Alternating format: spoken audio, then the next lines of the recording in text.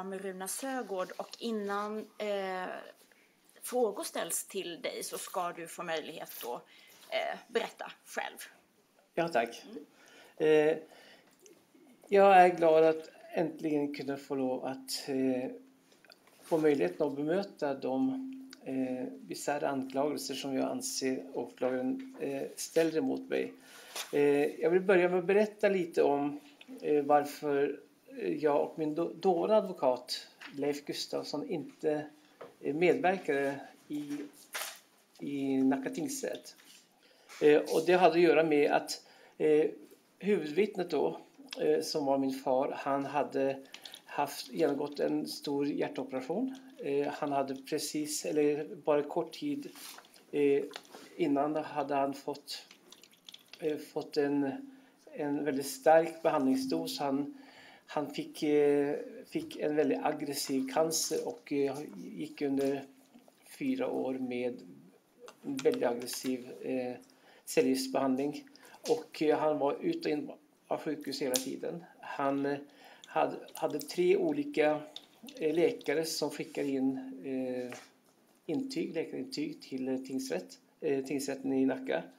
Eh, och eh, i och med att eh, huvudvittnet då var på sjukhus och var, eh, var inte kapabel att kunna ta sig till Stockholm så upplevde jag hela situationen som väldigt eh, både, eh, både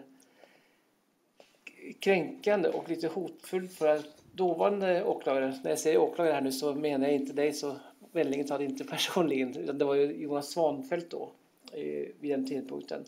Eh, och då eh, till trots för eh, fars då intyg, eh, tre olika intyg, så krävde han, så hotade han att eh, fars på sjukhusbädden skulle anhållas av norsk polis, vilket då tingsrätten då eh, nekade för.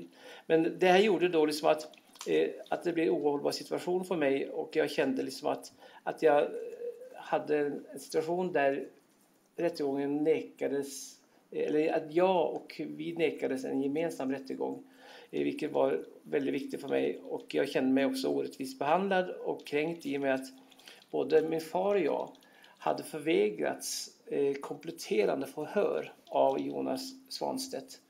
Eh, hade både jag och min far fått göra de kompletterande förhören som vi begärde så hade vi inte suttit här idag, så mycket kan jag säga.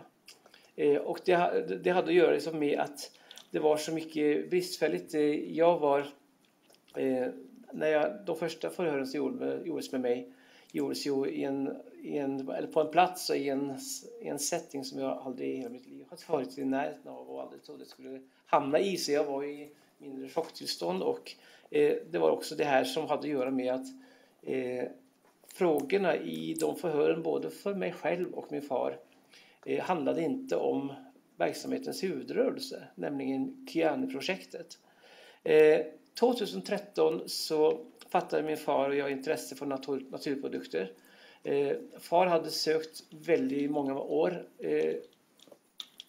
genom olika medicineringar och olika behandlingar runt om från olika delar i världen. Eh, hjälp med sin eh, sällsynta eksem som han har haft i nästan 40 år. Eh, och det var både förknippat både med smärta och väldigt obehag och eh, det var liksom en väldigt stor belastning för honom.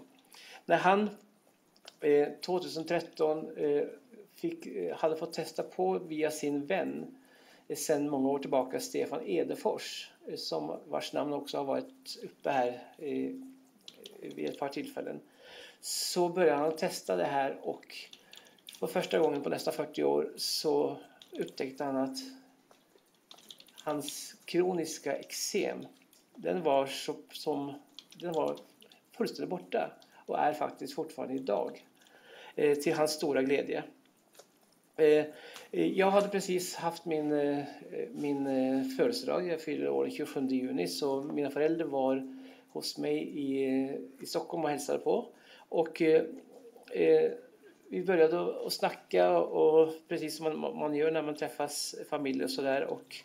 eh, far är en gammal entreprenör från Norge och har bedrivit affärsverksamhet i flera decennier i Norge. Och, eh, och då, eh, då började vi snacka om det här liksom med med eh, att göra någonting tillsammans. Vi pratar om det här liksom att de börjar närma sig en, en tid i, och period i sitt liv då de kände att det skulle vara väldigt skönt att inte behöva jobba eh, lika mycket utan att, att kunna få en frihet att göra saker och ting som man skulle vilja göra på ålderns höst. Eh, mina föräldrar de har barn i tre olika länder, både på den här sidan av Europa och även i Atlanten. Och önskar givetvis också kunna liksom besöka och spendera tid med, med sina 16 barnbarn. Eh, och då så, så kom det på tal här att starta ett bolag där, där jag kunde jobba eh, med mina eh, chefsprogram som jag hade utvecklat och skapat under sju år. Där jag hade i olika, olika faser och skeden hade jag testat det här chefsprogrammet i olika, olika miljöer, i olika branscher, i olika länder Eh, med tanke på kultur. Och jag hade lagt ner oerhört mycket tid och eh, ett antal miljoner på att ta fram det här programmet både genom då att testa betaversioner av de här programmen både i England, Skandinavien, USA, Australien och så vidare. Eh, och då så, så kom förslaget upp då liksom att ja, men vi kan göra ett familjebolag där liksom, du som är, är både kreativ och har ett enormt kontaktnät skulle kunna göra, göra jobbet för, för dina föräldrar. Vi har jobbat för dig, så nu är på tiden att du börjar jobba för oss, tyckte, tyckte min, min, min mamma. Eh, och jag tyckte det var ett bra och eh, ett lysande förslag. Så att då, då flikade också min far in och sa att ja, men då då kan du också där eh, bedriva verksamheten med, med programmen i och med att du har lagt ner så många år och så mycket tid att ta fram och skapa det här konceptet och det här programmet och jag tyckte också det var ett väldigt bra förslag. Eh, vilket då gjorde att, att, att eh, vi bestämde oss för det här sån. Min mor hon överförde aktiekapitalet eh, och gav mig i uppdrag att bilda ett, eh, ett aktiebolag eh, och då var det ett, eh, ett lagerbolag, heter det va? Mm, Tillebolag, lagerbolag. Och då, då överförde hon pengar och satte in aktiekapitalen så att det kunde betalas. Och jag, jag hjälpte till med både, både kontakter och telefoner och eh, försökte få fram nödvändig information för att det här bolaget skulle kunna komma upp på fötterna och bli en verklighet. Det var också anledningen till varför de lämnade den här generalfullmakten för de visste ju att det måste också finnas ett eh, bankkonto och internetbank och sådana här saker och då ställde de ut det här, eh, den här generalfullmakten till mig. Eh, och då, då fortsatte vi med det här. Jag kom igång ganska snabbt med mina chefsprogram som jag har tagit med mig här som om någon skulle vilja titta på dem. Det är Eh, varje program består av två, två stycken pärmar av tio kapitel och massa för, förtryckta dokument och analysverktyg, instrument och verktyg för då att, att kunna utveckla både chefer, ledare, företagsledningar, koncernledningar och så vidare. Eh, så att de här, de här programmen hade då varit väldigt framgångsrika. Jag hade ju jobbat med svensk, eller hade sålt in programmet då till ett antal eh, både internationella bolag som PwC, Deloitte, eh, Ernst Young, Grant Thornton, eh, Eniro här i Sverige, eh, Swedish Match, eh, svenska börsbolaget. Så att jag visste att det program jag hade skapat under sju år var genuint, det var eh, väldigt framgångsrikt och Grant Thornton, bland annat deras HR-direktör, eh, Barbro Bolander som hon hette, hon, hon eh, gjorde en ganska omfattande DD på det här programmet i, i Grand Thornton-kontoret här i Stockholm på Sveavägen. Och eh, programmet blev eh, valt och utsett till det bästa chefsprogrammet som hennes chefer hade gått. Eh, så, så, att, så att jag, jag gick in i det här sån liksom med både stor entusiasm stor entusiasm och kände liksom att det här liksom var ett bra sätt att jag kunde, kunde också försöka vara lite mera hemma med, med mina små barn. För att jag hade precis blivit tvåbarnspappa under loppet av två år. Eh, och eh, innan eh, så har jag alltid rest runt hela världen och eh, kände att liksom, det skulle vara skönt att försöka landa lite och vara lite mer hemma, hemma vid. Och i och med att jag jag eh, hade blivit småbarnsfar igen så tyckte jag också det kändes väldigt skönt att kunna då eh, vara del i en affärsverksamhet där jag skulle kunna göra det jag älskade, nämligen att utveckla individer och, och organisationer. Eh, och samtidigt då ha en, en koppling både känslomässigt och men även affärsmässigt med mina föräldrar. Så att jag utsågs då till, till delgivningsbar person i och med att mor och far då bodde i Norge.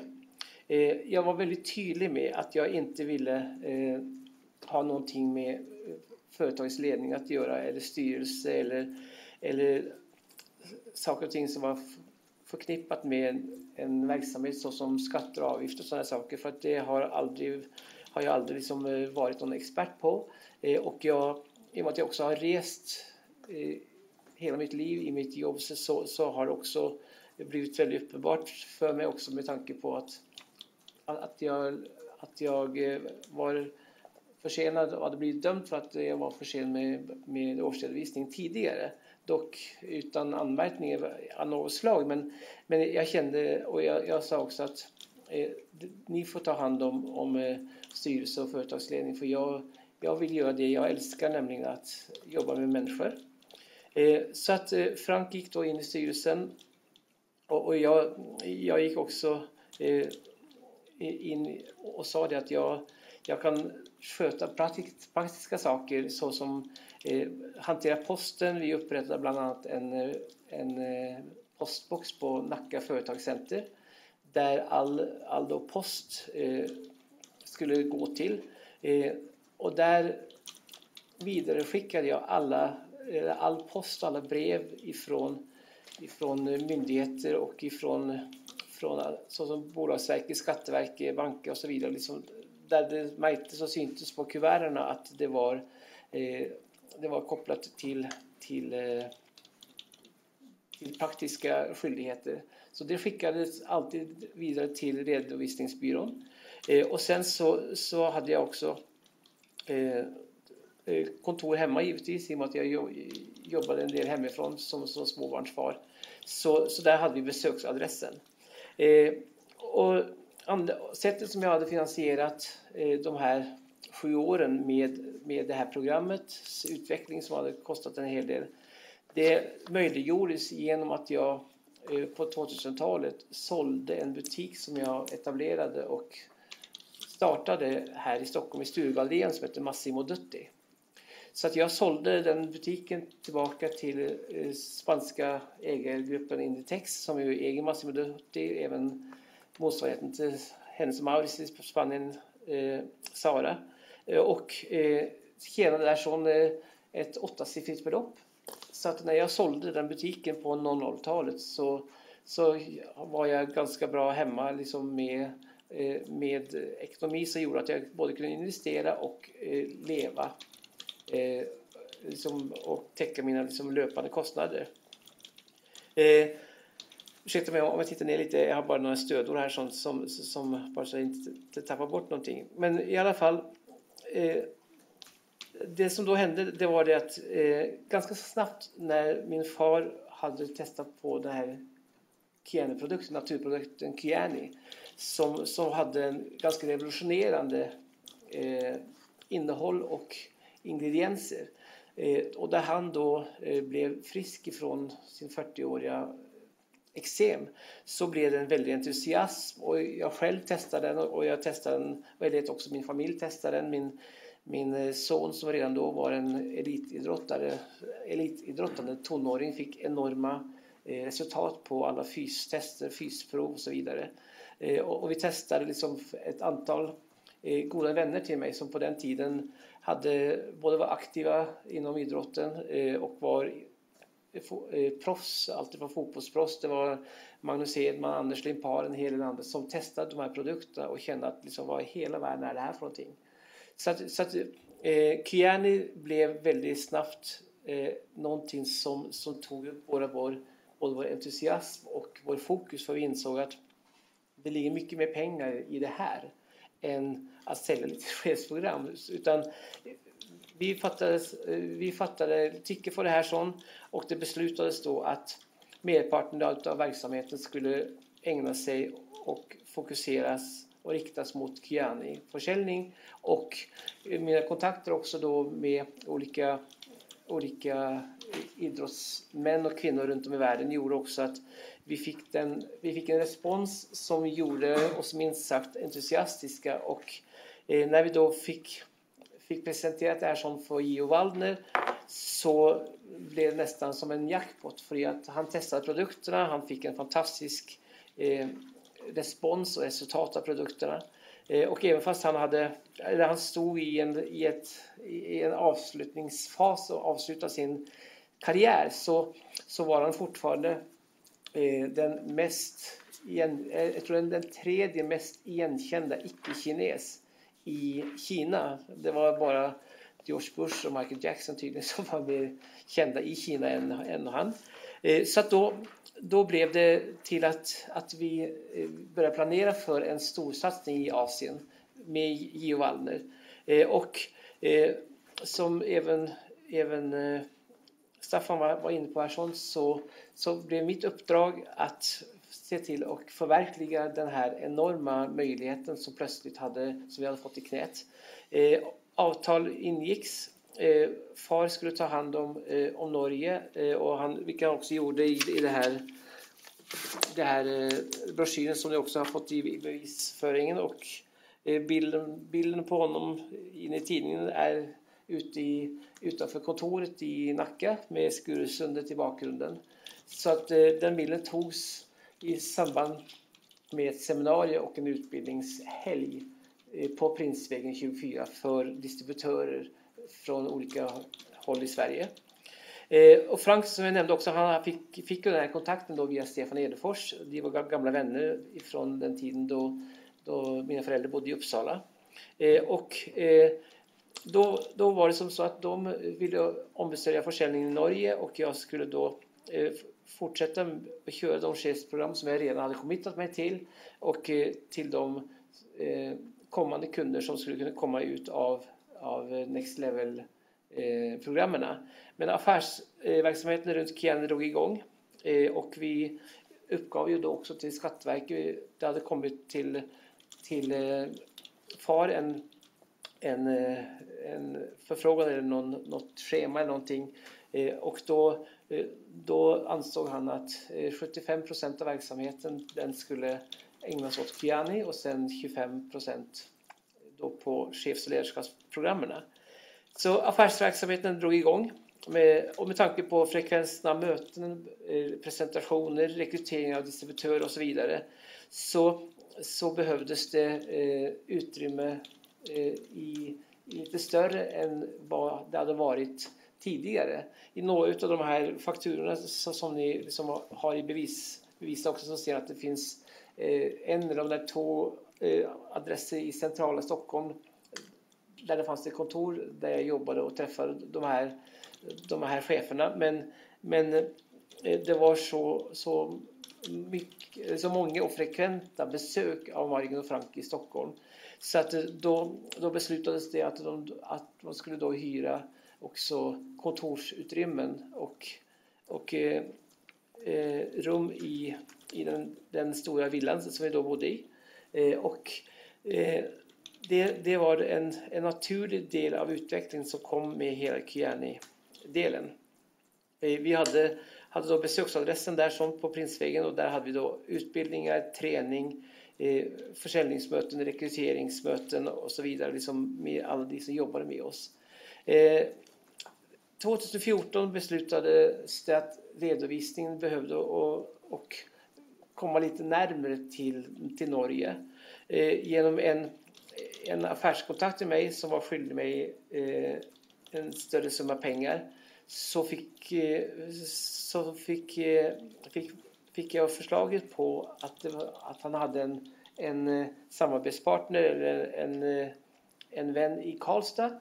Och då kontaktades han och sen så, så blev då Corpus Corona primecrime.se eh, firman då till bolaget, vilket var väldigt praktiskt för att då kunde jag eh, i och med att jag åkte igenom Karlstad varenda gång jag skulle åka till mina föräldrar eller åka till Norge och träffa kunder i, i, på andra sidan gränsen så var det samma sak också för, för mor och far att när de hade, hade saker som de behövde eh, ha kontakt med, med Hjellström så var det på vägen från Askim i Norge då till, till eh, Stockholm. Så att Karlstad blev en, en strategisk, en, en perfekt lösning som, som, som dök upp.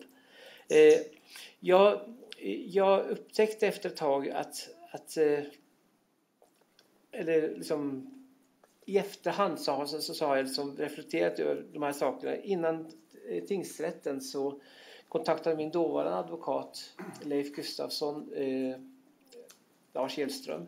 Och han, han hade ringt honom eh, vid lunchtid en, eh, en tisdag eller onsdag, det var mitt i veckan någon gång och då var eh, då blev han väldigt förvånad så han ringde upp till mig och sa Runar, har Hjällström, har han alkoholproblem? För att jag, jag ringde honom här precis och han var full när jag ringde.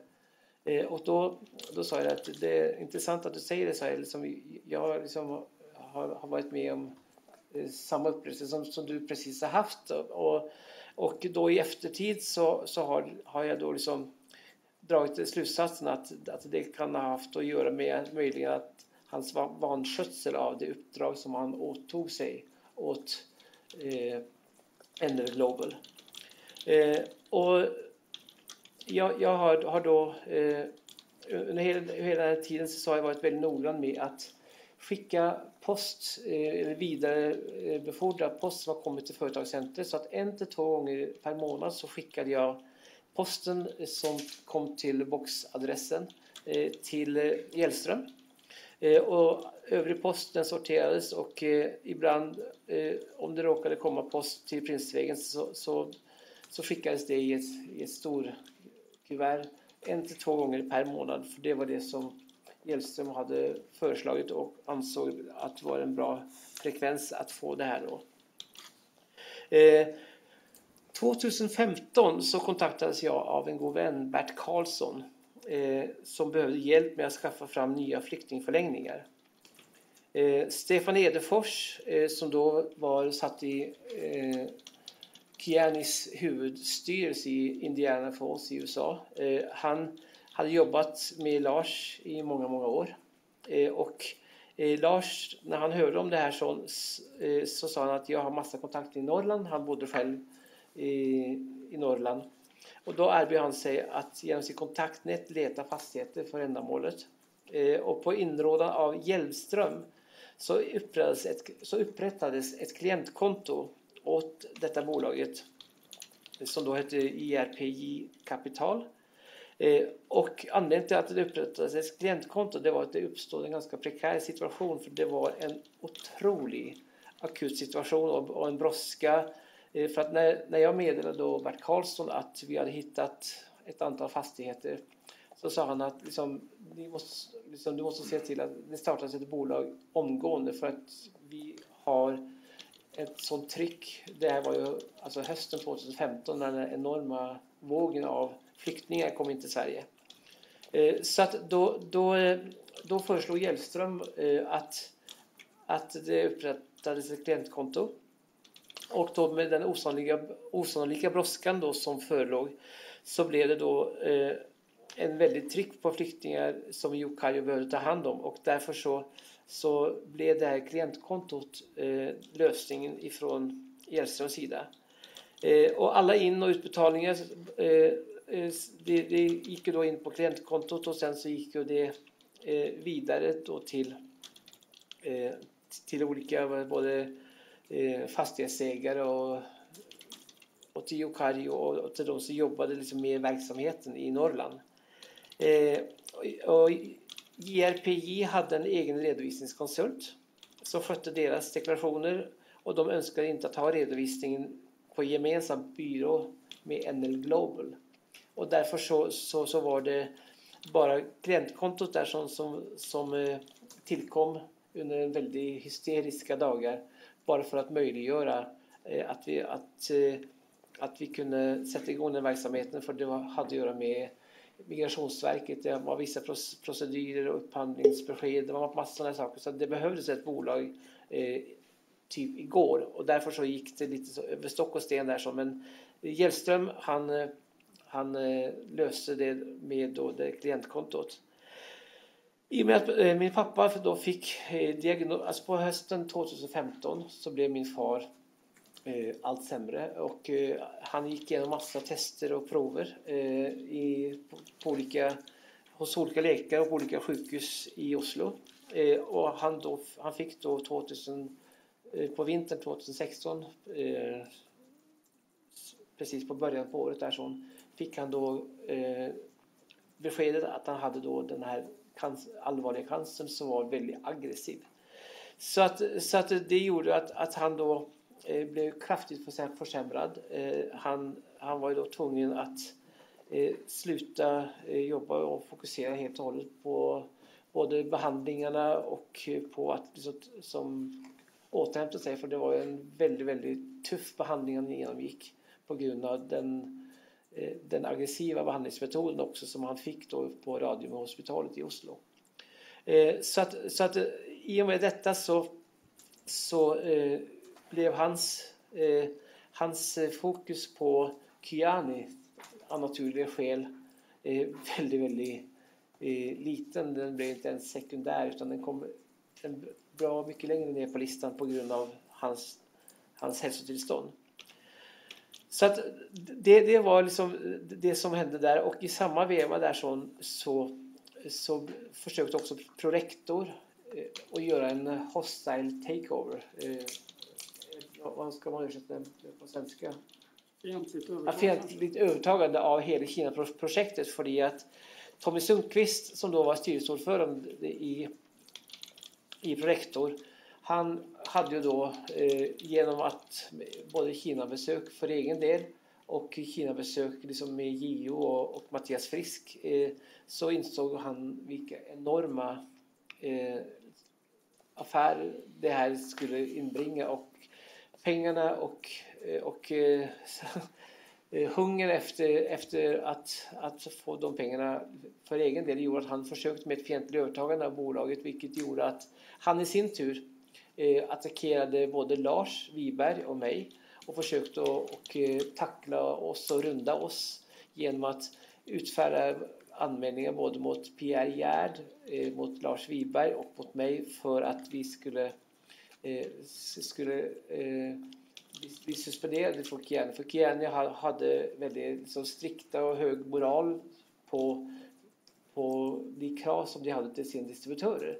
Och då började de att sprida en massa lögner om oss vilket gjorde att, att eh, Stefan Edefors som då satt med i koncernledningen eller i företagsledningen till Kiani han kände ju Lars sen, sen 15-20 år tillbaka och han kände ju Frank sen minst lika många år. Så han visste ju att det här, förutom att han visste att i sak, i sak så var det fel och det var lögn och, och oärligt. Men han visste också då liksom att att eh, det bästa sättet att försöka reparera det här som det var att han klev in och hjälpte till.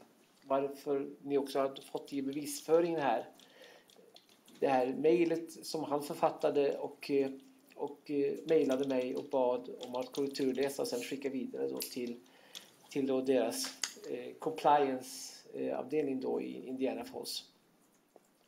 Eh, så att det, det är det som, som, som, eh, som jag inledningsvis bara kan säga. Och sen så, så finns det då saker och ting som eh, i det här som, som har så givetvis liksom varit smärtsamt och eh, känns väldigt orättvist med tanke på att jag, det har varit väldigt uppenbart, upplever jag, att dåvarande åklagare Jonas Svanfeldt genom olika, på olika sätt försökte och försvåra min möjlighet att kunna både för, för, förklara mig, att vittna och att få utrymme att, att eh, delge information som var viktigt i fallet.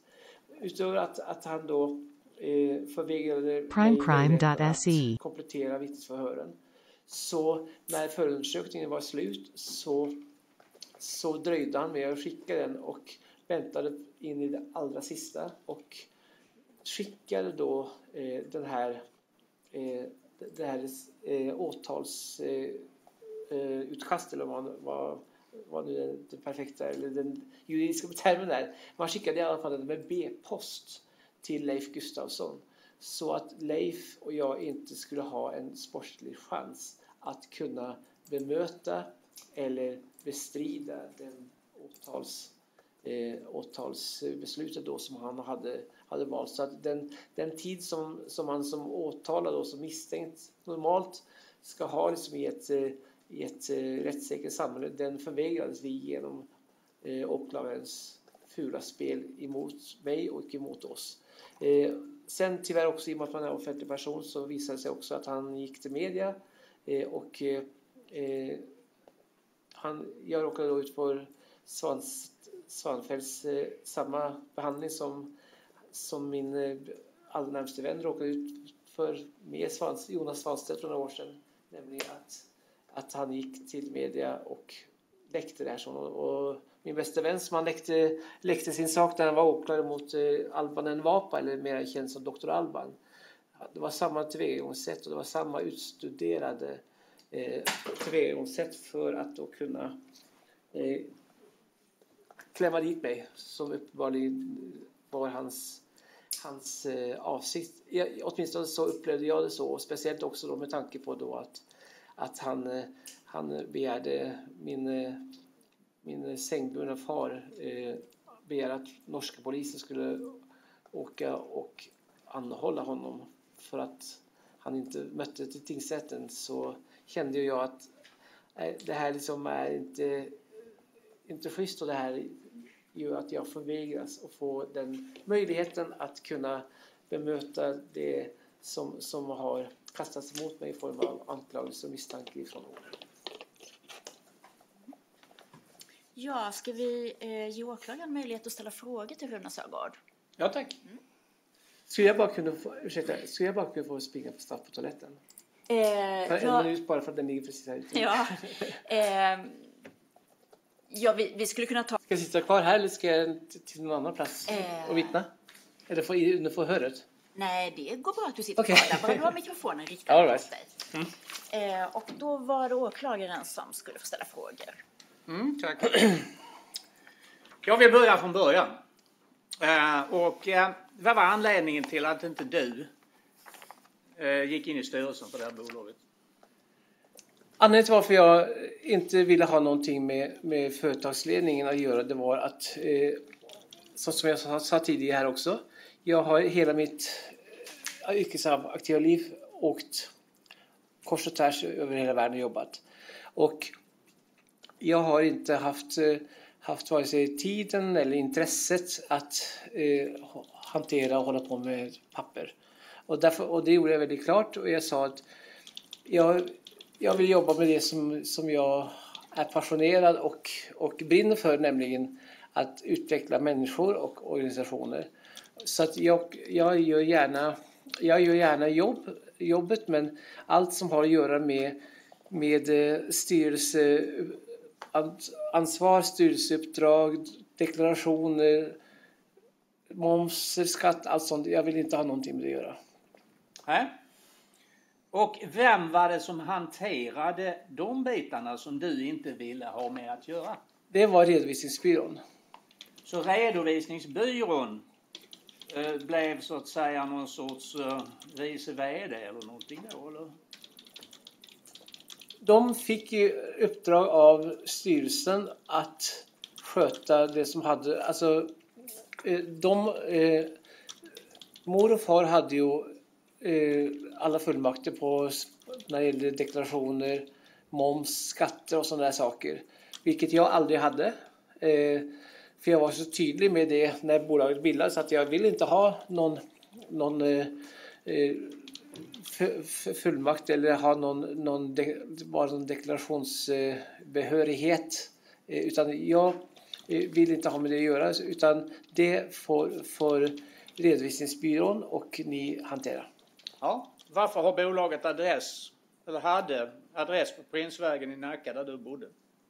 Besöksadressen var på Prinsvägen. Ja. Ja. Posta, post, adress var det. nej, nej, bolagets adress var box i Nacka. Företagscenter i, i Nacka företagscenter. Okej. Sen har du fått generalfullmakt. Varför skulle du ha en sån? För att kunna, kunna skriva avtal liksom med, med kunder. För att alltid när man sålde chefsprogram exempelvis så, så, så skrev man avtal eh, med, med antingen HR-direktörer eller med, med VDR och då behövde jag ha en fullmakt ifrån från bolaget som visar på att jag, kunde, att jag, att jag hade rätten att ingå avtal.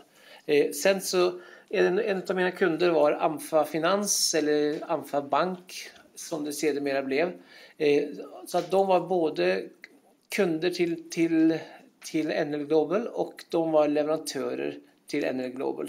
Kunder i form av att eh, jag körde chefsprogram med flera av deras, deras chefer på Amfa och de var leverantörer i och med att de då också, eh, också köpte fakturor till, till NL Global och eh, jag, jag behövde också då fullmakt också för att kunna skriva på dokumentet till, med AMFA. Mhm. Även fast, även fast eh, eh, Mikael Forsman som ju ägde Amfa med Finans, även fast vi kände varandra och vi hade en väldigt bra, väldigt bra relation eh, och, och liksom eh, egentligen inte behövde ha, ha några muntliga avtal men i och med att de, de eh, gick under, jag tror bank, eh, det finns väl vissa finansinstitutioner har väl olika krav på sådana saker och ting och därför så, så, så behövde jag då och kunna, kunna skriva på avtal med dem eh, för NE Globals räkning. Du, jag tittar på generalfullmakten på sidan 5. Det står så här. Fullmakten har utfärdats på grund av styrelse, namn, adress och verksamhetsändring. Bolagets föreslagna eh, namn och ny adress är NL Global Group av Prinsvägen 24 i Nacka. Så står det på generalfullmakten. Varför din adress? Det här var ju då eh, dagen efter min födelsedag den, den 27 juni. Jaha. Eh, och då, eh, då så, så, så var så det blev så på grund av att, att eh, eh, mina föräldrar var i, i Stockholm den veckan. Ja. Ehm. är det Frank Sögaard och Margun Sögaard som har skrivit under den här fullmakten? Ja, Ja. Och det är du som har skrivit på fullmakten på sidan 6 va? För som fullmaktstagare? Ja, ja. Du, eh, vem skrev bolagets fakturor? vad säger du? Vem skrev bolagets fakturor? Bolagets fakturor skrev jag i och med att det var jag som, som förhandlade priset på chefsprogrammen. Okej. Men du, eh, det är ju en kameral uppgift. Vad betyder kameral? Pappersuppgifter. Pappersuppgift? Ja, precis. Ja. Det ville du inte ha. Nej, alltså inte, inte administration, men i, i och med Får att... du förklara vad du ville ha och inte ville ha lite noggrannare? Nej, men jag vill inte ha någonting att göra med bolagets pappersverksamhet. Alltså, liksom, papper för mig, det är liksom allt ifrån, allt ifrån eh, bolagsverk, eh, skatter, moms, arbetsgivar, arbetsgivaravgift och saker och ting som har med, med eh, kontakt med, eh, med myndigheter och offentliga, offentliga institutioner som, som man skulle behöva ha kontakt med eller liksom ha, ha dialog med. Mm. Och eh, Alltså, att, hur var det med bankkonto? Vem disponerade bolagets bankkonto? det var mina föräldrar och jag. Och du? Så att, så att, eh, så att eh, det, det Har var, dina föräldrar överhuvudtaget gjort någon transaktion på, detta, på bolagets bankkonto? Ja, eh, det, det, det, det, det måste man ha gjort för att eh, bolaget bekostade ju både både eh, tågresor eh, mellan, mellan Askim och Stockholm. Eh, när, när de åkte mellan sin bostad och, och eh, primecrime.se. Prinsvägen. Så, så det var flera företagskort som fanns när, när eh, bolaget startades den sommaren 2013. Så de har använt kort. Ja, alltså i vilken utsträckning de har gjort det, det har jag inte, inte jag någon aning om. Men det var, det var flera företagskort som utställs som eh, Swedbank i Nacka kontoret i Nacka Forum som de utställde när bolaget fick sitt, eh, sitt eh, konto, eller sina konton och sina internetbanken och allt det där. Du, den dagliga verksamheten i detta bolag. Vem ansvarade för den? Vet du vad daglig verksamhet är? Nej. The day-to-day routine. Ja, alltså eh, det här var ett eh, fåmannaföretag så, att- så att eh, Frank, Frank skötte ju sitt och jag skötte mitt. Eh, jag, jag, eh, Vad skötte Frank? han hade kontakten med, han hade kontakten med det, med det som hade att göra med liksom papper som, som han behövde eh, fylla i eller skriva under på och sådana där saker. Sen var det jag som, som så, Han hade kontakten med att fylla i papper. Nu förstår jag inte. när, när det har skickats in papper exempelvis, vi gick igenom bland annat här som om någonting eh, när eh, Skatteverket eh, på någon förfrågan i något papper som, som du gick igenom här tidigare där, där, som, där, där Frank hade skrivit under på ett dokument så sa det att 75% av verksamheten var Kiani och 25% var ledarskapsutveckling. Det är ett exempel på ett dokument som Frank och Lars ansvarade för i och med att eh, Lars var, var deklarationsombud och Frank var då eh, den som hade, hade fullmakten och han var den som representerade styrelsen. Hade Frank och Lars Hjellström tät kontakt? Hur mycket kontakt de hade, det, det har jag ingen aning om. Jag bara vet att, jag bara vet att eh, den kontakten som, som, som krävs liksom i samband med årsredovisningar, deklaration och sådana saker, det tog jag som givet, eller tog jag för givet, förlåt, tog jag för givet att, att eh, de hade kontakt när det var saker och ting som, som behövde skrivas under eller, eller fyllas i. När det gäller verksamheten i det här bolaget. Eh, om jag säger så här. Ska testa dig vad du säger om det. Att du i juni 2013 har presenterat dina föräldrar att du skulle starta ett nytt bolag. Nej, så var det inte alls. Nej. Och att du måste starta ett nytt bolag för att ha något att leva på. Nej, Har din, eh, din historia hos Kronofogdemyndigheten något att göra med att du inte eh, står som, som styrelse absolut inte. Absolut inte. Och anledningen, anledningen till att jag hamnade hos Kronofogden det var att, att eh, jag hade haft, jag hade haft eh, efter finanskrisen så, så hade jag kunder som jag jobbade med som, som gick under, som gick i konkurs. Och eh, då betalade inte de mig för de uppdrag och det arbete som jag hade lagt ner under väldigt, väldigt lång tid. Vilket gjorde att jag fick en, oj, förlåt, jag fick en väldig slagsida i, i min personliga ekonomi. Var det inte vid den här tiden du fick alla de där miljonerna för butiken? Ja, det var på 00-talet. Ja. Ja. Jo, ehm, om vi nu tar den här ledarskapsutvecklingen. ja. Jag har en SOA framför mig. Vill du, ha, vill du se på dem eller för du har inte sett dem? Eh, Nej, nej, det vill jag inte. Okej. Eh, Den är daterad, det är sid 7 och 8 i den här bevisbilagan, eh, 2 juli 2013. Då står det organisationsutveckling och ledarskapsutveckling 90% Investering i värdepapper 10% Där står ingenting om någon Kiani. Eh, Det var daterat i den 2 juli 2013. Jo. Det var den veckan som, som eh, mina föräldrar var i Stockholm. När, bola, när bolaget bildades. Jaha. Och då, eh, då hade ju då hade inte den här fantastiska möjligheten med Kiani ens eh, hamnat i vårt knä. Ja. Utan, utan då, då, var det, liksom, eh, då var det ledarskapsutvecklingar, det var, det var utbildning av, av konsulter eh, som det var snack om. Vi hade, eh, vi, eh, vi hade en idé och vi hade en tanke om att det var inte bara jag som skulle jobba här sån utan det var eh, andra ledarskapskonsulter som jag skulle träna, utbilda och licensiera för att då eh, utföra och genomföra de här programmen med sina kunder också. Japp. Så att avsikten och tanken var att det skulle vara i huvudsak ledarskapsutveckling av mig och även av en mängd andra. Och, i- och i det här också som hade med ledarskapsprogrammen att göra så, så var det också som så att, att eh, där var min far och mor väldigt delaktiga för att eh, jag flyttade från Norge när jag var 19 år och har tappat eh, norskan eh, i skrift även fast jag kan prata det. Så att, så att de hjälpte till med att läsa igenom, korrekturläsa och översättningen av eh, Eh, de programmen på norska. Programmen finns på, på svenska, engelska, norska och ryska.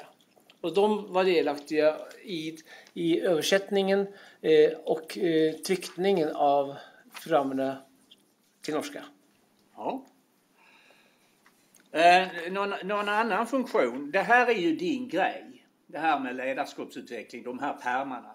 Ja, Du det, har utvecklat detta. de har jag utvecklat och skapat. Ja. Och, och vad, vad, hade, vad har Frank för, för roll i det här? Nej, 90% ledarskapsutveckling, organisationsutveckling. Du är baserad i Sverige, han sitter i Norge. ja. Vad har han för roll? Han, han har hela sitt vuxna liv också inom kyrkan eh, brunnit väldigt mycket för ledarskapsfrågor. Han har varit ledare för ett av de större kyrkosamfunden i, i Norge. I ledarskapsfrågor har alltid legat han väldigt varmt om hjärtat. Han har, han har suttit med i kommittéer och i organisationer som har bjudit in stora världsledare till Norge. Så hur har detta manifesterat sig när det gäller hans roll i detta bolag? Hans roll i det här bolaget var ju det som jag berättade om från början här.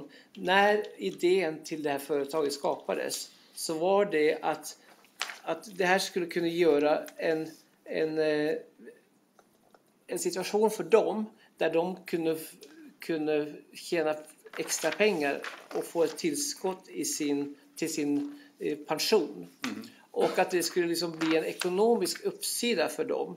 Sen så var min uppgift, det var att, att eh, använda de program som jag hade lagt ned så mycket tid och pengar på att skapa.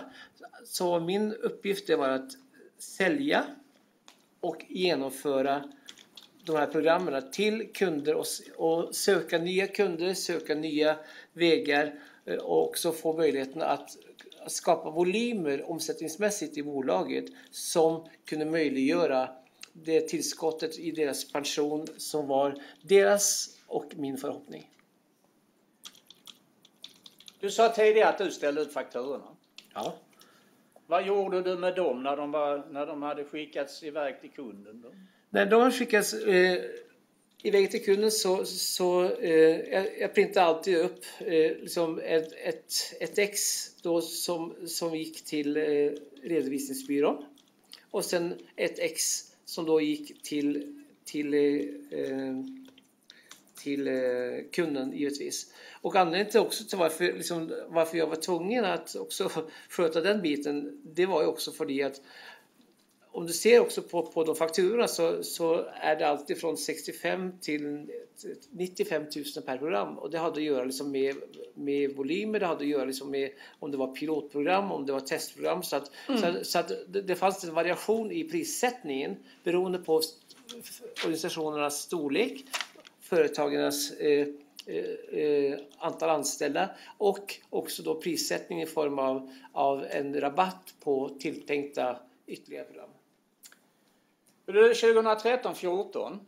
Det här drar, drar ju igång då vid sommaren 2013. Va? Ja. För det räkenskapsåret som dessutom är förlängt så har omsättningen uppgått till 2000 kronor cirka. Ja, inte ens det. 1922 kronor. Den, den chocken blev jag varse när, när liksom efter att jag blev konfronterad i det första förhöret. Och jag fattade ju ingenting. För jag visste ju att jag hade jobbat och jag visste att jag hade fakturerat. Ja.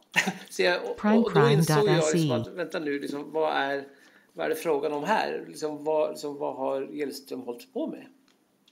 Det var ju min första spontana eh, tanke när liksom chocken hade lagt sig när, när jag blev presenterad i första förhöret kring de här fakturorna. Nu har vi ju det hämtats in från Anfa Finans. Några fakturor. Okej? De ligger på knappt 400 000. Okej? Känner du till något om dem? Ja, vilka fakturor är det du tänker på?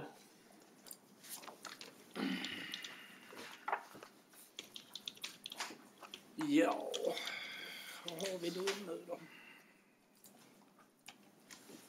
Vet du vilka fakturor? Vi har dem i den här bevisbilagan.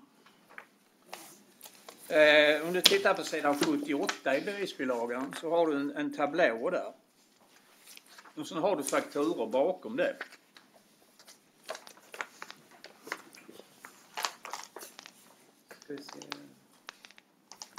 Där ja, precis.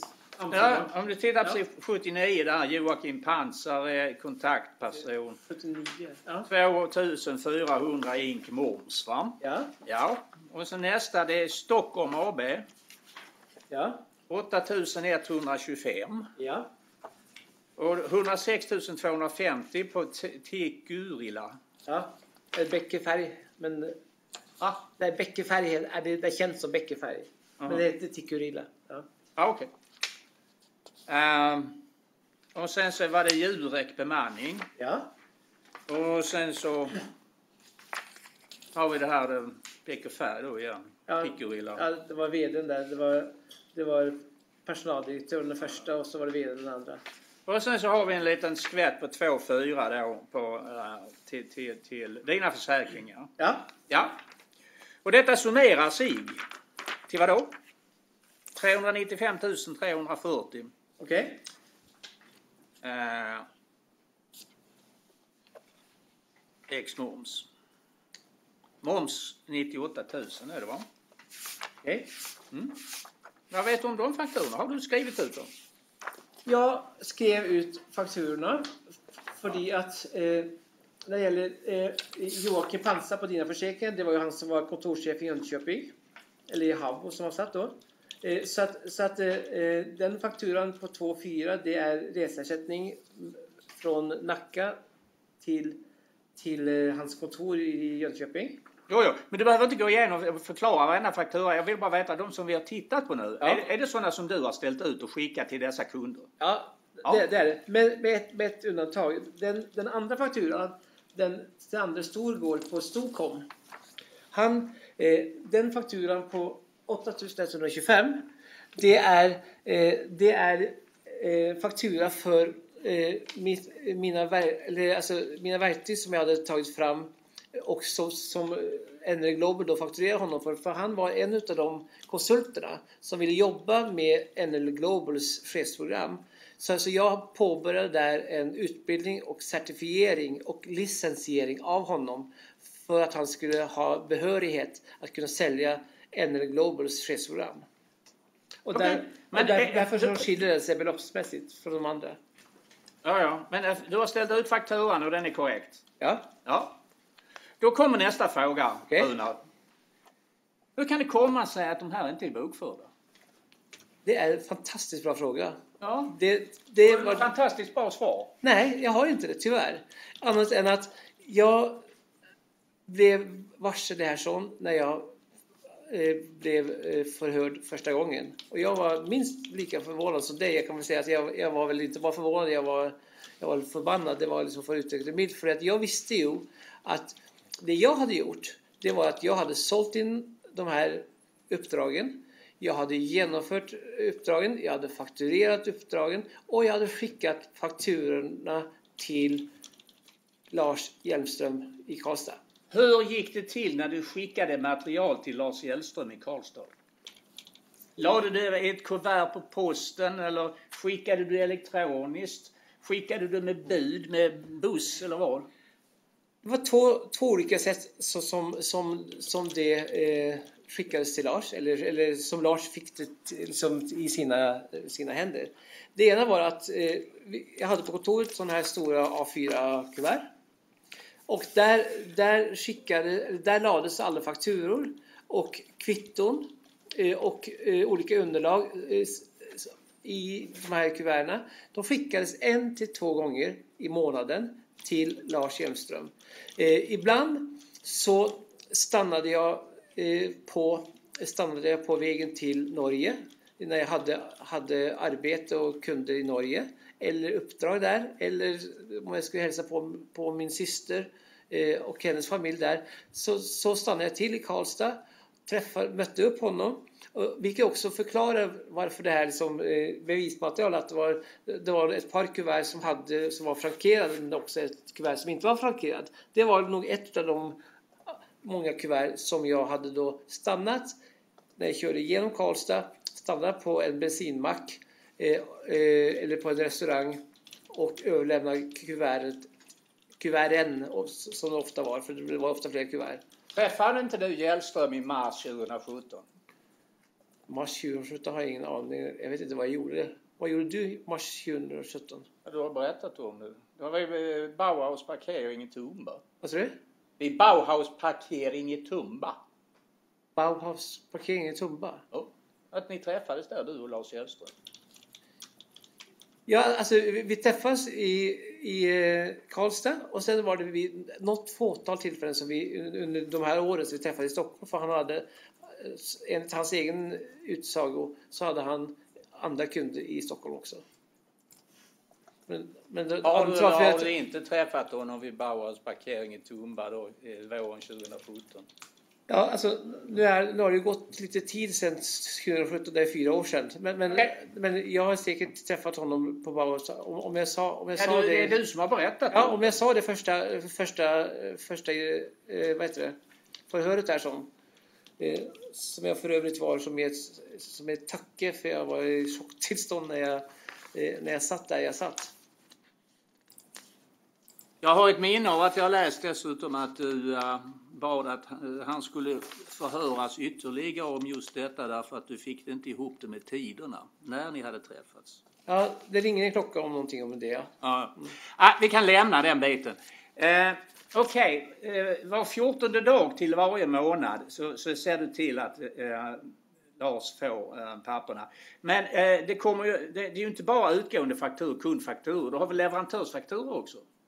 Ja. Kostnader i rörelsen? Ja. Ja. ja. Vem var det som bestämde vilka kostnader som ska tas i bolaget och vad som inte ska tas i bolaget?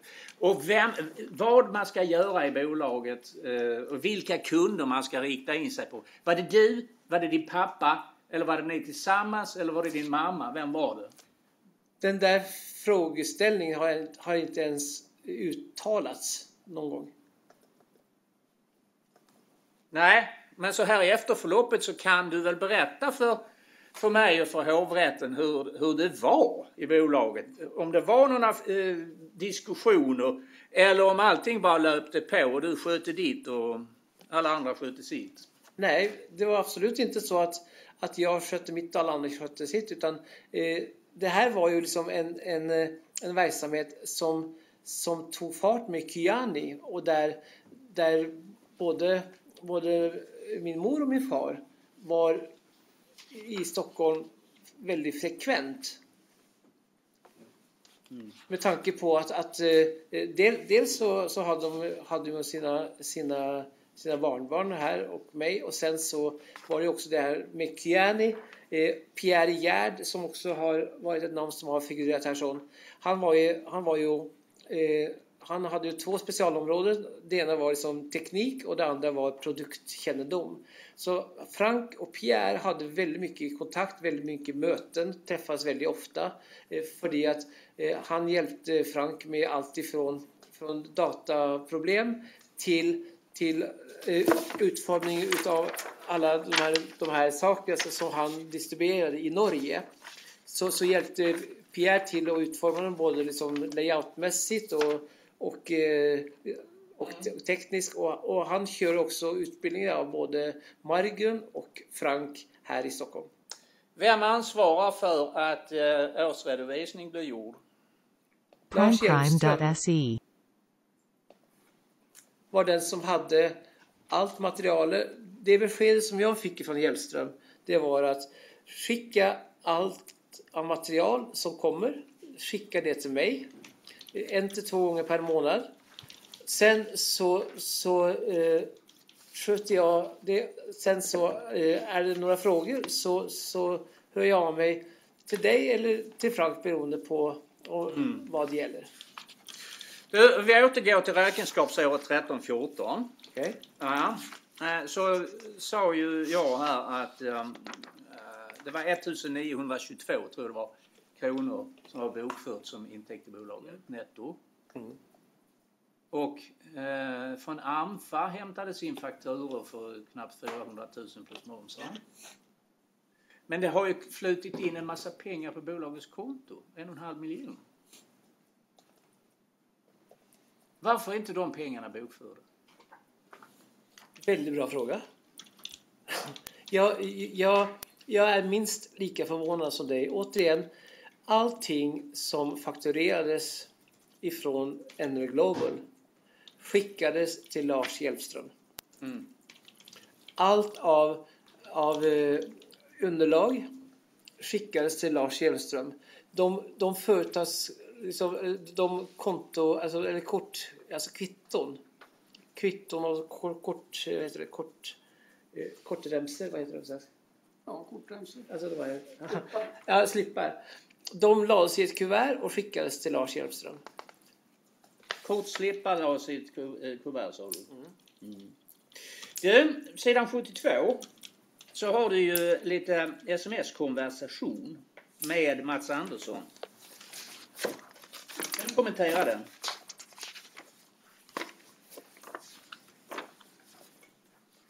Två sa du? Jag. Ja.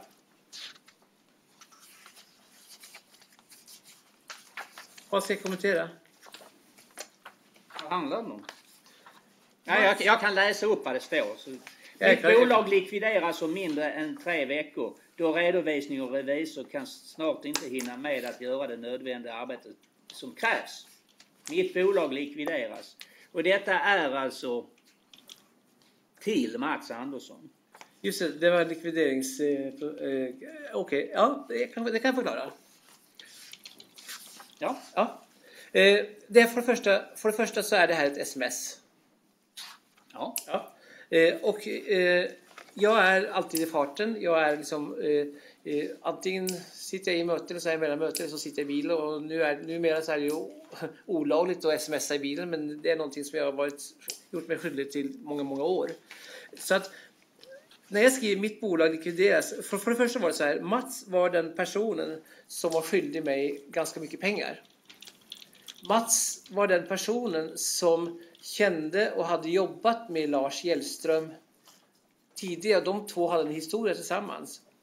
Mats var den som, som sa Runar, eh, jag har den, den redovisningskillen för, för att jag frågade honom vid ett tillfälle liksom, om han kände till någon bra redovisningskille och då sa han ja men jag har en i Karlstad. Jaha, sa jag. Liksom, eh, intressant Karlstad, det är ju mitt mellan Norge och här. Då så, så, eh, så fick vi då liksom kontakt med, med Hjellström via han. Eh, sen så, som jag sa, han skyllde mig en hel, hel del pengar, vilket också har, vilket också Hjelmström i något mail någonstans du har gått igenom har bekräftat.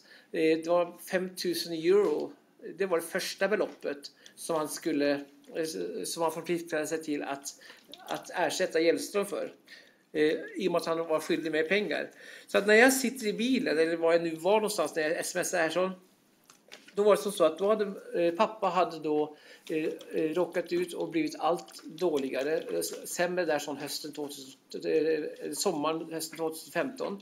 Han var ut och in på, på undersökningar och, eh, och eh, eh, skanna och analysa allt vad det var för någonting. Så att, så att han har redan blivit sjuk och eh, dålig och var liksom inte alls lika ofta i, i Stockholm. Eh, han, det var också här den här vintern 2015 som han fick sin diagnos eh, cancer. Så att, så att eh, då kom det till, till bostaden i Nacka så kommer det en, en kväll en delgivningsman. Och när jag öppnar det kuvertet då står det en likvidationsgrej och jag liksom får ju liksom, jag får helt liksom, jag blir totalt stressad. Vad är det här för någonting? Ta kontakt med Hjelmström och se liksom, vad är det som händer. För jag, jag fick inte tag i, i min pappa då för då han, han, han, var, han var inte hemma. Eh, och eh, då säger Hjelmström bara liksom eh, kan du ta och mejla det, mejla det till mig, vilket jag gjorde. Men då blev jag varse att någonting var fel.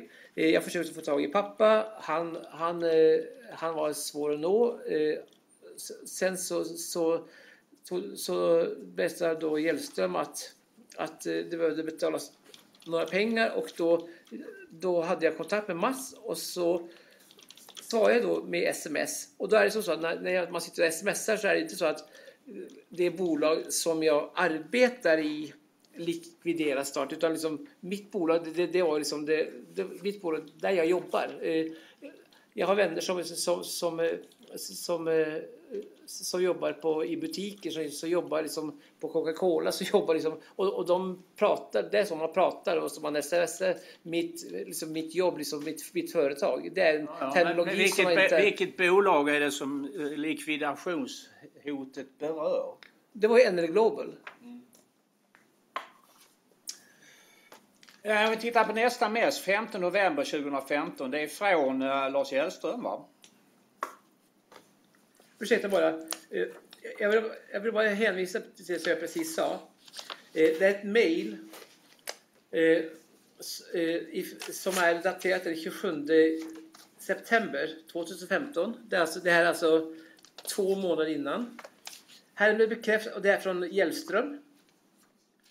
Härmed bekräftas att, att CC Corpus Ekonomikonsult är berett att från Mats Andersson mota, eller bolag mota 5000 euro. Medlen ska genom CC Corpus Ekonomikonsult användas för att betala fakturor utställda till eh, Japp International eh, var det där sånt. Så att, så att Mats hade, han hade förpliktat sig till att betala tillbaka pengar som han var skyldig mig och se till att betala det. Vilka var du skyldig Hellström? Vad sa du? Var du skyldig Hellström? Jag var inte skyldig Jens någonting. Jag har aldrig anlitat honom för någonting. Nej, men bolaget då? Var bolaget skyldig Hellström pengar? Det har jag ingen aning om. Nej. Men du, varför skriver... Det är uppenbarligen så att det här, sidan 72. Uh, Hej, vill bara påminna om att det är sista veckan innan tiden tar slut. 23 november ska årsredovisningen vara inlämnad. Om det ska hinna så måste jag få revisorn pratbar denna vecka. Det vill säga, han måste få betalt. Cash på mitt konto senast imorgon, annars går det inte. LHJ, det måste vara Lars Hellström. Kan det vara så? Det kan vara så. Varför skriver han det till dig? För han, han, visste väl, han visste också att, att far var sjuk och att, att han, han hade liksom både hjärtproblem och var ute på sjukhus. Så det var väl inte så märkligt att han ringde mig då när han inte fick tag i Frank. Den 19 november 2015 så är det ett nytt mess. Det är till Mats Andersson. Vilken sida är det? Sidan 73. Okej. Hej Mats! Kommer du kunna hålla ditt löfte att betala för revisorn så mitt, mitt bolag inte likvideras på måndag? Samma sak där, alltså terminologin, alltså liksom jag använder ju i de här korta sms så man använder ju så, så få ord som möjligt. möjligt. Jag skriver i det bolag som jag arbetar i. Eller, eller också liksom det här liksom att eh, Frank, för att han var ju skyldig mig pengar. Okej. Så, så att, så att eh, han, han hade ju ingen förpliktelse mot, mot Frank Sögaard. Utan det var därför som jag liksom använde mitt. För att jag, jag ville pressa honom. I och med att jag var ju stressad över den här situationen med en, med, med en, en sjuk far och med liksom en likvidationsdelgivning eh, som hade kommit. Så att jag var ju superstressad. Och, i- och därför så var jag liksom eh, desperat efter att få kontakt med Mats och eh, se till liksom att, att Lars kunde lösa det här. Har varit tvungen att hitta ny då Lars revisor inte ville på grund av utebliven betalning. Revisorn jag hittat måste betalas innan lunch imorgon. Va- Varför skriver du så? För att jag ville, jag ville sätta påtryckningar på Mats att betala det han var skyldig. Men det här handlar ju om att färdigställa en årsredovisning, eller hur? Primecrime.se. Det är, alltså, vad, vad, vad, det, vad, liksom, alltså, vad som krävdes för att, för, för att, eh, för att undanröja det här likvidationshotet. Det, det vet inte jag nu och det visste jag absolut inte då. Eh, Du Jag har, jag har förstått i efterhand nu liksom, när jag har suttit här liksom, med, med min advokat och så här, liksom, att, att det var på grund av att årsredovisningen inte hade in, eh, inlämnats. Det har jag förstått nu i efterhand. Men det förstod jag inte då. Det förstod du inte då. Har du inte varit sen med årsredovisningar tidigare? Min, Har, är du inte dömd för det? Ja, dömd för för sent inlämnad, ja, precis. Men det har aldrig, aldrig haft någon, någon likvidationsbrev som har kommit på entrédörren i min bostad. Nej, det har jag aldrig varit med om. Och då vet du att det kan vara brottsligt att inte ge in den där i tid. Eller rättare sagt, jag ska säga upprätta den. För det är det som är den brottsliga gärningen, att inte upprätta årsredovisningen. Inte att, att ge in den, det är en annan sak. Um, men då, då var du ju liksom medveten om att det kunde få konsekvenser om man inte fick in en sån här årsredovisning i tid. Jag, jag förstod ju att det, det, här liksom, det här var en brand som behövde släckas, självfallet. Och Lars var ju den som, som var eh, liksom den som kunde lösa det här så i och med att han satt ju på allt bokföringsmaterial. Han satt ju på årsredovisningen. Och, och när jag ringde upp honom så, så, så bara sa han liksom mejla över det där till mig så tar jag hand om det. Okej. Du, eh, jag ska kanske inte föregripa, men jag vill ändå ställa frågan. Jag har ju lyssnat av förhöret med Lars Hellström. Det är ungefär en halvtimme långt. Han redovisar en annan uppfattning när det gäller överlämnandet av papper från dig Det- än vad du gör. Det känner jag till. Det känner jag mycket väl till. För att, för att han, han satt även i, i tingsrätten eh, när, när, Leif Gustafsson och jag inte medverkade. Så, så, så satt ju han där och, och påstod saker och ting också. Vilket var häpnadsväckande. Ja. Eh, Ekorevisorn, Ursäkta? ekorevisorn, han som har gjort granskningen här. Okej? som jag har presenterat. Eh, Han har ju konstaterat att det här eh, bokföringen för 13-14 verkar liksom vara gjord eh, på, liksom på ett bräde va? Har jag bestämt för mig. Gjort på ett bräde. Ja, alltså det har gjort, gjorts under kort, det har inte gjorts löpande under året utan det har alltid har gjorts på en gång. Okej? Ja. Nu ska vi se vad det står. Ja, alltså hur Lars Hjelmström har, har arbetat, om det är löpande eller om det är med eller utan bredor, det har jag ingen aning om. Men en sak vet jag och det är att han har fått tillskickat post. Han har fått överlämnat post både i, i, i Stockholm och i Karlstad. Eh, och när jag har överlämnat alla dessa kuvert så har jag utgått ifrån att när jag har lämnat eh, kuverten då har han det i, sina händer och då sköter han det som behöver skötas. Det har varit liksom min uppriktiga liksom, både tilltro och, eh, och övertygelse. Um, Åkerrevisorn har gått igenom den här CI-filen, bokföringsfilen alltså. Mm. Det framgår att hela bokföringen för räkenskapsåret 13-14 genomförs långt i efterhand under perioden den 18 till 19 november 2015. Jag, jag känner ju till det liksom, i pappren här så, liksom, så den, den kunskapen har jag fått ta del utav. Ja. Ja. Du har inga anledningar att betvivla att det så är fallet. Den här bokföringen av dessa eh, få verifikationer eh, Alltså, jag, jag, ju, jag får ju anledning att betvivla precis allting, givetvis.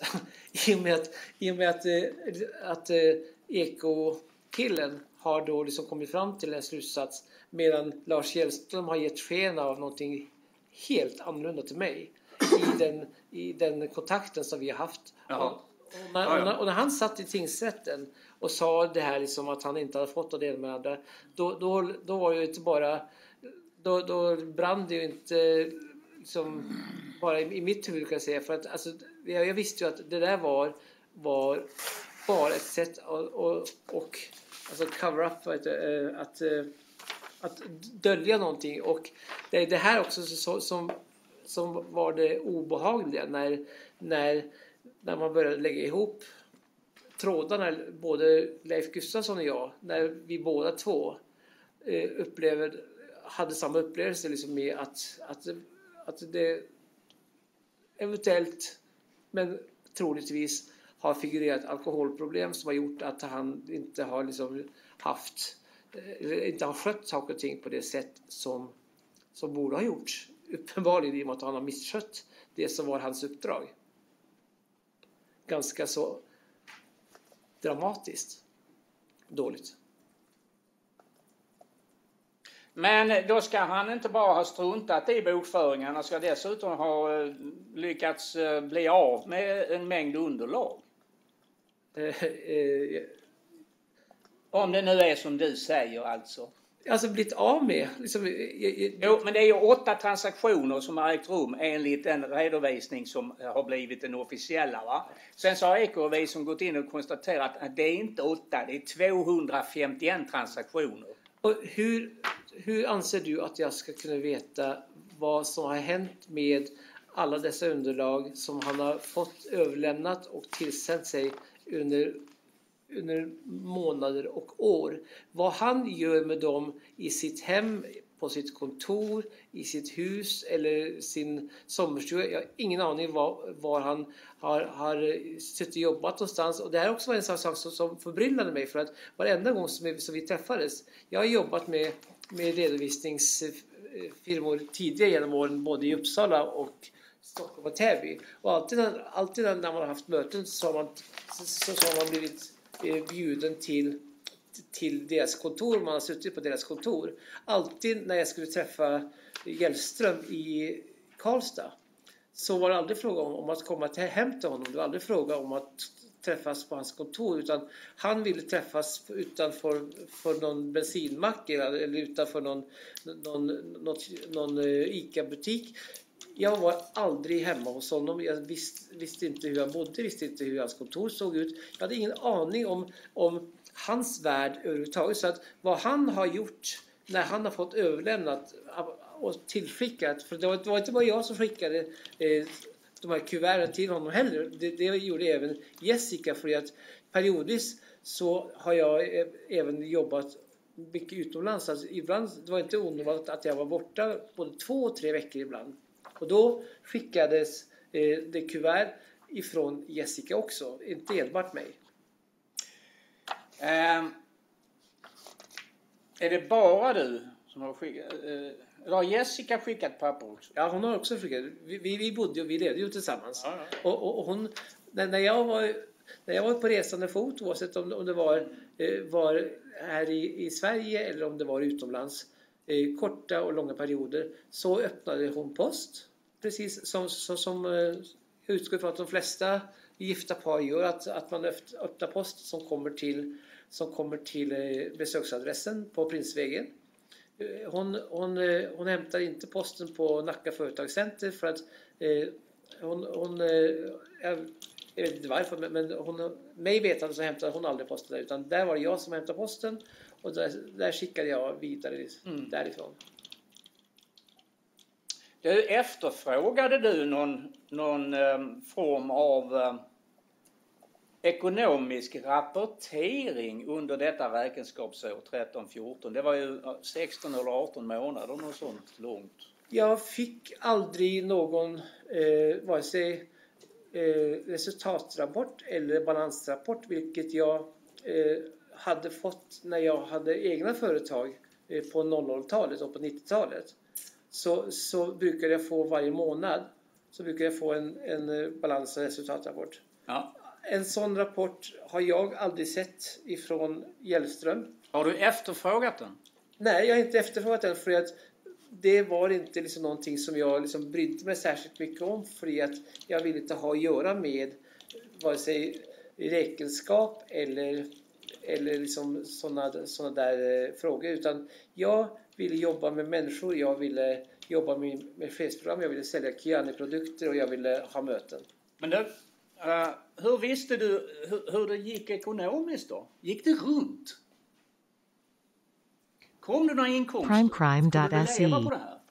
Jag, jag, såg ju att, jag såg att inkomsterna, eller att, att fakt- fakturor var betalade, så såg jag liksom på, på, på internetbanken såklart. Du såg det på internetbanken? Ja, Du hade dosat i internetbanken? va? Du hade alltså bankdosat i internetbanken? Jag var ju tvungen att ha en bankdosa i, i och med att jag var tvungen att göra betalningar. Men då måste du väl ha sett att det är ett flöde på pengar in som inte stämmer överens ett enda dugg med det som sen hamnar i årsredovisningen. Jag vet inte om det är jag som uttrycker mig eh, otydligt eller suddigt för att, för, för att jag har ju aldrig kunnat jämföra någonting för jag har aldrig haft några liksom, redovisningspapper. Jag har aldrig sett några rapporter resultat. Jag, jag har inte liksom, eh, aldrig fått, fått ta del av någonting utan, utan jag har jobbat och så har jag fakturerat och så har jag betalat. Så, så, så, så att, eh, eh jag vet inte om, om, om du inte har förstått mig men alltså jag, jag har ju aldrig haft någonting att och, och jämföra siffror, fakturabelopp liksom med, med resultat för att jag har aldrig sett och jag har aldrig fått. Och nu i eftertid så, så, så fick jag reda på att Frank fick ju heller aldrig någon månadsrapport ifrån honom.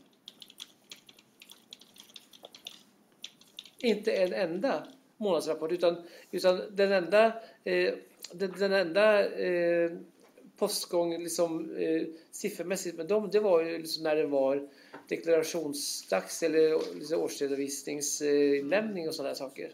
Du, ehm, vem var revisor? Kommer du ihåg det? För det räkenskapsåret. Inte för just det räkenskapsåret, det kommer jag inte ihåg. Om jag säger att det är Sverker Alfredsson. Sverker var det någon kille som Lars kände i Karlstad. Ja. Jag har aldrig träffat honom, jag har aldrig, aldrig jag, jag, jag kan ha pratat med honom men jag har aldrig träffat honom. Han har skrivit en oren revisionsberättelse. Har du sett den? Läst den? Nej. Alltså nu, nu har jag gjort det men, men, men fram, tills, fram tills hela den här eh, liksom, eh, skräck, eh, skräckupptäckten eh, eh, upp, eh, att jag tog del av den. Innan dess så, så såg jag aldrig det, nej. Slå upp sidan 68 i bevisbilagan. är du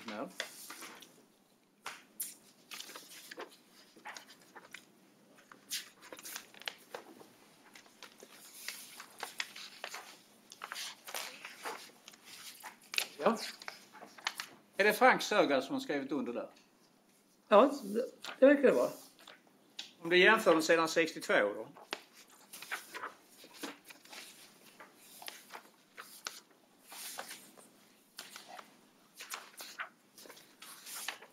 Eller är det någon annan som har skrivit Franks namn? Ja, De är olika där nu. Ja. Det kan ju vara så att någon har fått ett tillstånd att skriva hans namn. Det vet ju inte jag. Men det kanske du vet. Alltså, du tittar på mig eller tittar på någon annan? Ja, jag vet inte vad jag tittar på. Nej, du, du tittar bort jag ställer frågan. Så jag, bara, jag, blev, jag vet, undrar om du ställde frågan dit eller... Alltså, ja, nej, nej. Jag, alla frågor som jag ställer ställer jag till dig. Okej. Ja. Nej, eh, under de här åren så, så har, har det varit vid ett par tillfällen så, som han har bett mig skriva under på någonting. Men, men när, när det var eller vad det gällde, det är inget som jag har något minne utav. Utan, utan då gjorde jag det för att för han, han sa åt mig att jag skulle göra det. Kan det vara så att det är du som har skrivit Frank Sögaard precis 68 då? Jag kan inte svara ärligt på den frågan för att jag vet inte. För Nej. det, det här, det här är Möjligt. Vad säger du? Är det möjligt att det är så? Att du har gjort det på hans uppdrag eller något sånt? Jag har, jag har ingen anledning att, att eh, liksom, säga vare sig bu eller bä. För jag, jag kan ärligt talat inte, inte liksom säga att, att det är det ena eller det andra. Nej. Eh, vi går sen vidare till nästa räkenskapsår, 14-15.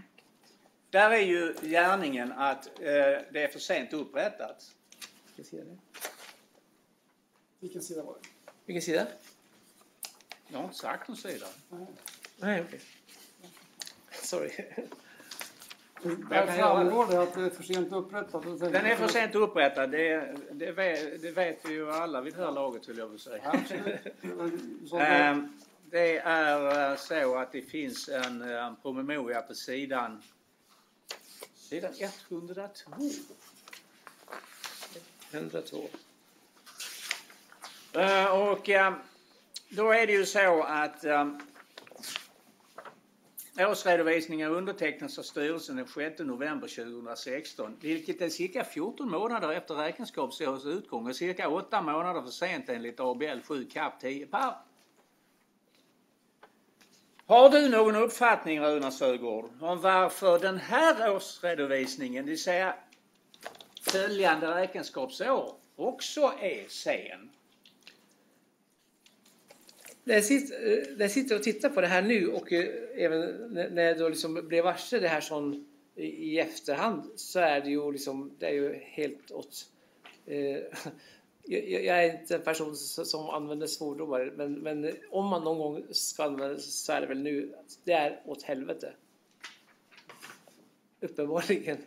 Mm. Ja. Men varför har det blivit på det viset då? Alltså, du och jag skulle göra, kunna göra en qa bok Vi, vi, vi har samma frågor båda två. Ja. Du har ingen förklaring? Nej, jag har inte det. Den Alltså, eller, eller, eller, eller, låt mig säga så här. Förklaringen tror jag att jag har. Och det är att Lars Hjelmström har så monumentalt misskött det uppdraget som han fick ifrån NR Global. Han har, han har ljugit eh, mig rakt upp i ansiktet i och med att han har sagt att liksom, allting är... Liksom, jag, liksom, jag har koll på det här, sån exempelvis med den här likvidation så, så bara sa han att skicka det här till mig så tar jag hand om det, sa han. Så att, så att min, min stora eh, synd och min, eh, min, eh, eh, liksom min, eh, eh vilka ord ska jag använda? Min förtvivlan, det är att jag har trott på sjön. Så allting är, är, är, ja, vi, vi tar det sen.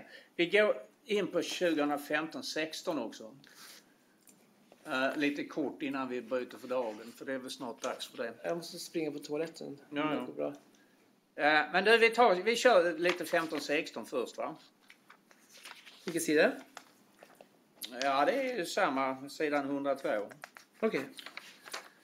Och sen så kan du gå till sidan 105 så får du en specifikation där på allt som har hänt eh, i det här bolaget. Att det är 9 miljoner in och 9 miljoner ut. Och 2093 transaktioner. Mm. Mm. Inget är bokfört. I vart fall så har någon bokföring inte kunnat påträffas. Trots ansträngningar. Häpnadsväckande. Det är häpnadsväckande. Ja, det är det. Mm. Jag håller helt med dig.